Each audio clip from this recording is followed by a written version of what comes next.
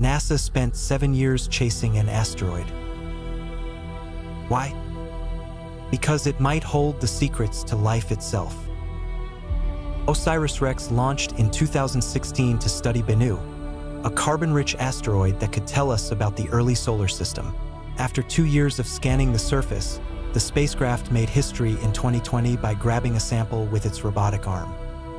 After a 2.5-year journey back to Earth, the sample capsule landed safely in Utah in September 2023.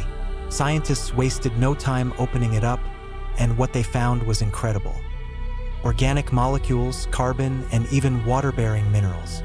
These are the fundamental ingredients for life, locked inside an asteroid for billions of years.